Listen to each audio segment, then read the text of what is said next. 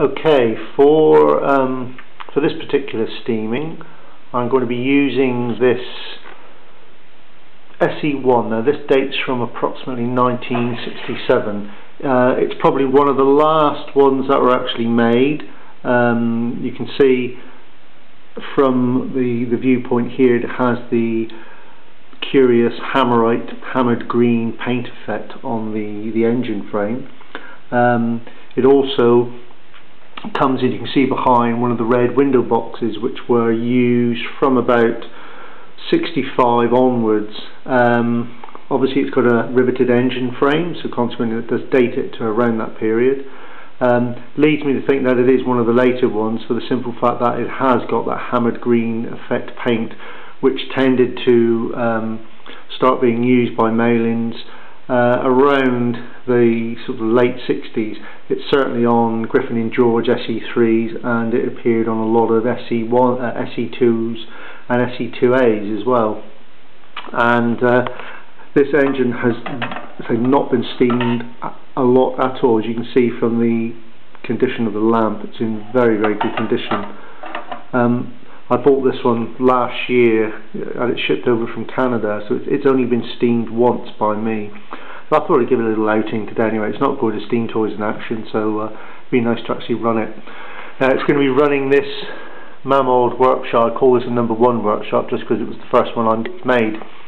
Uh, and this is running a full set of um, late 50s or sort of in case of one early 50s to late 50s tools, they've all got sort of the classic um, sort of little traits which give away the fact that their earlier versions, not only the grinder with its two different coloured wheels, but uh, we have the press or punch with its unclipped red rimmed wheel. We have the polisher um, with the oiling holes as well as the hammer as well, which is only uh, which has got like an early style flywheel but again that one is clipped this time so it may be a little bit later than the press.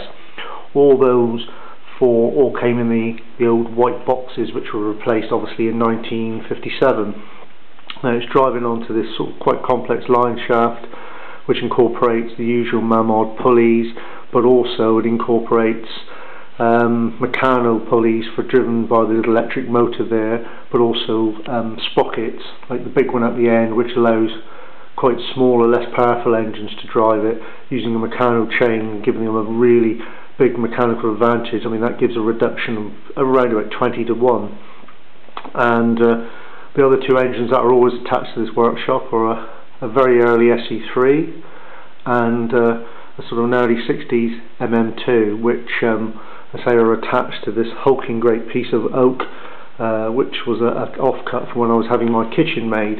Uh, the whole ensemble there weighs the best part of 40 pounds uh, and it's a bit of a, a, lump to heave around especially to steam toys in action.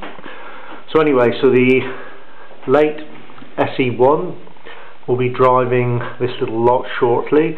Uh, I've got the engine positioned in such a way that it, will drive the hammer in the correct direction without me having to twist around the drive band.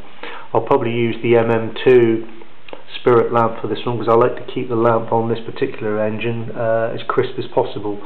Um, looking at the engine you can see there's very little in the way of tarnishing or burn marks which would lead me definitely to believe that it is uh, a fairly infrequent steamer.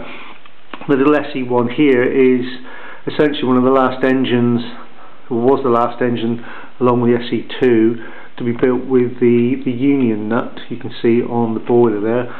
After uh, after 67 that disappeared. They just uh, basically soldered the pipe straight into the the boiler.